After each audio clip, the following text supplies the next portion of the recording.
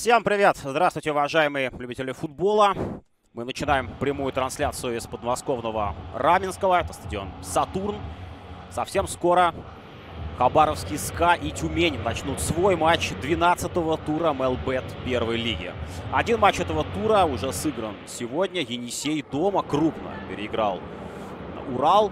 Давид Шавлохов 41-й, Михаил Сухорученко 72-й, Александр Бем. В центре полузащиты четвертый Данил Кленкин, десятый Андрей Савинов. Забивал и забивал. Прилично.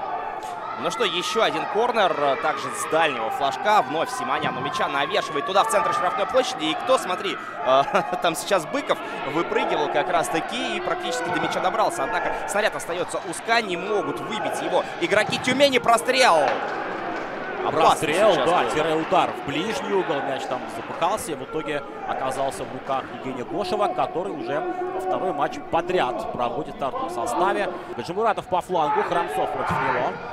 И проходит передача хорошая. Ой, что Гангапшев делает, продлевать.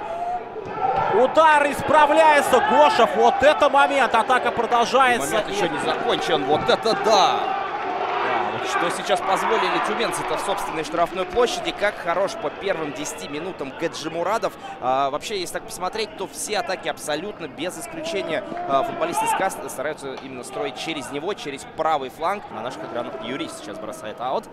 Да, то есть э, кулак в центре обороны. И еще удар, и даже мяч перекладину задел после удара Рамазана Гаджимурадова. Вот, пожалуйста, да, чем аут нестандартное положение. Все закончилось классным ударом Поройкова и Каратаева. А какая скидка-то сейчас прекрасная. Нулевой угол абсолютно. Но здесь, конечно, с такого угла забить было очень и очень сложно. Там градуса 3, наверное, было. Но как грудью э, первый раз обработка была 10 минутами ранее. А сейчас скидочка. Как ска... Слушай, ска, как мне кажется, оживился немножко. Симонян. Хорошее движение от Симоняна. Передача вдоль штрафной. И еще удар. Ну какое спасение. Евгений Гошев. Вот сейчас вся команда должна благодарить Гошева, потому что крутил-то э, Симонян. Гаджимурадов, прошу прощения, замечательно. Вот эти удары с левой ноги, да, которые, считай, перекладину попали в тот же угол. Угловой удар опасно, это гол! Это гол, Скай счет открывает, но... Но судьи это взятие ворот игры. отменяют. Да, видимо, после скидки. Передача в этот штрафной. И, наконец-таки, атака Тюмени. Это навес, удар по воротам. А теперь в игру уже и мама вступает. Но нельзя выключаться, потому что продолжает атаковать Тюмень. Удар с 11-метровой отметки заблокирован защитником в этот раз и выносит СКА. Вот это огрызнулась сейчас Тюмень. Не понравилось им, что происходит у них в штрафной площади. И показали свои сибирские зубы сейчас дальневосточника. Э, наконец-таки он нашел свою команду, нашел э, место в основе команды. Э, естественно, про СКА мы говорим. Сейчас очень очень опасная атака. Навес на дальнюю штангу. И здесь тоже первый на мяче Евгений Гош. Как же короткий Джамурадов. И вот сейчас, да, вот показал на замахе. Потом еще пару таких переступов. Не забивают. Э, там говорят, да, что в этих матчах не забивается. А вот сейчас забивают, а вот сейчас с подачи Гаджимурадова. Как долго этот мяч летел, чуть, чуть планету не обогнул, как мне кажется, он э, вокруг оси. Это шикарное действие. Но все шло к тому, что Гаджимурадов должен был сделать сегодня голевое действие, либо сам забить, либо отдать. И сейчас он отдает. Алиев, насколько я вижу, забивает. Да, так и есть, Камран Алиев. Вернулась после относительно длительного отсутствия. Удар! Прошивают насквозь в тот же угол. Сколько здесь? 25 метров было на 45-й минуте в раздевалку. Тюмень вот таким ветерочком от этого удара прогоняют футболисты СКА. Это, это что, Сибанян?